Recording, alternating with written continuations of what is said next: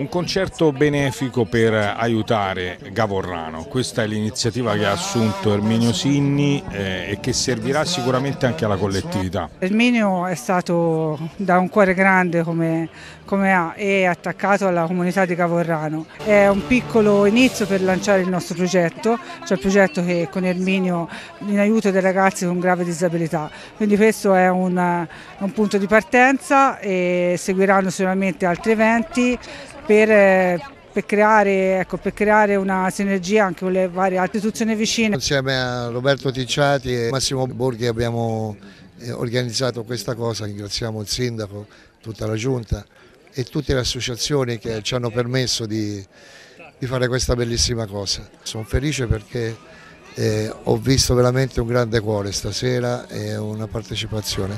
Spero oltre all'incasso che eh, abbiamo sensibilizzato un po' eh, per il problema che c'è in questo momento nel comune. Che significa per te suonare al Teatro delle Rocce? È stato meraviglioso, penso stavo con gli armonici, con, con le cuffiette e nonostante quello mi è arrivata una botta di energia enorme, quindi si è sentito veramente un, un calore da brave persone, veramente la cosa più bella che puoi ricevere è più dell'applauso è sentire che ci sono brave persone in giro.